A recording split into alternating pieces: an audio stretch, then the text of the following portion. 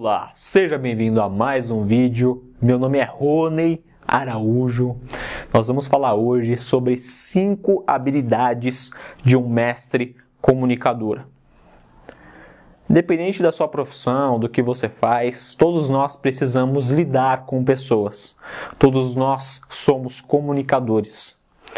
A partir, desse, a partir daí, o que você precisa entender é que existem habilidades para nós lidarmos com as pessoas. Existem coisas que nós precisamos saber para ter uma comunicação mais efetiva. Eu quero te mostrar o caminho para você ser um mestre comunicador. Eu estou nesse caminho constantemente, eu estou me aprimorando, trabalhando, lendo, ouvindo, escutando, para poder cada vez mais melhorar a minha comunicação. Né? É um processo, a gente vai crescendo gradativamente.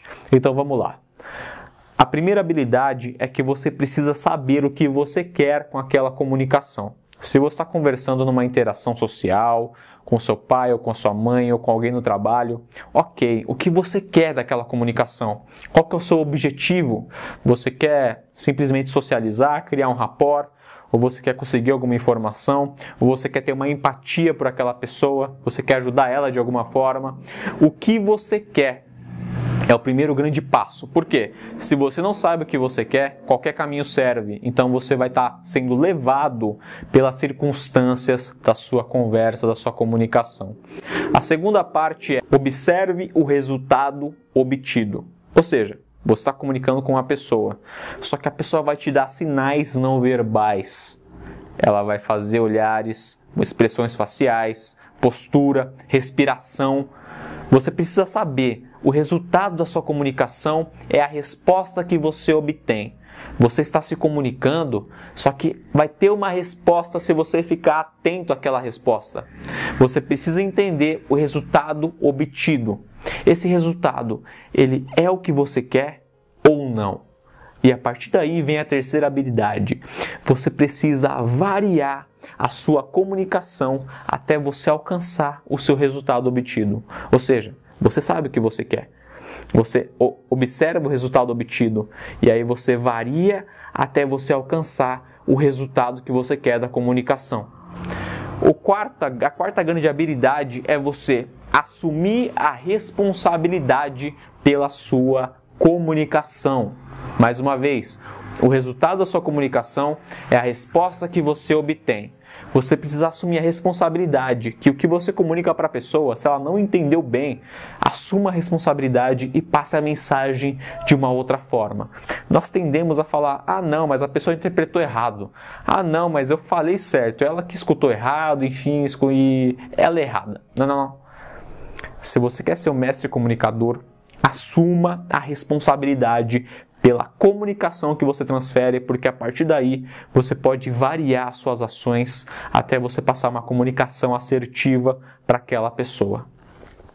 Quinta e última habilidade, assuma a responsabilidade pelas suas interpretações. É um paradoxo, eu sei que é um paradoxo. É contraditório, eu sei que é contraditório. Mas quando você assume a responsabilidade pela mensagem que as pessoas passam a você, quer dizer que você está no controle.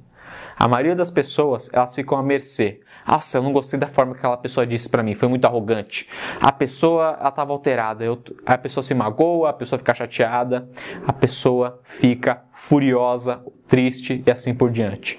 Mas a partir do momento que você assume a responsabilidade pelo que você interpreta, ou seja, você está no controle do que você vai sentir, porque você está analisando o que você está interpretando. Faz sentido ou não? Bem legal isso, né? Porque a quarta, você assume a responsabilidade pela sua comunicação, pela forma que você passa. E a quinta, você assume a responsabilidade pela sua interpretação.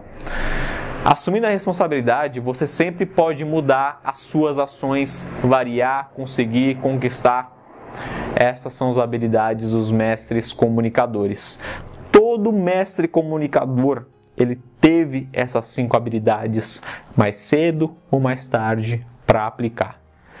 Espero que você tenha gostado. Se você gostou, deixa o seu gostei. Compartilhe esse material para impactar mais pessoas. Busque sempre a sua maestria pessoal. Até o próximo vídeo.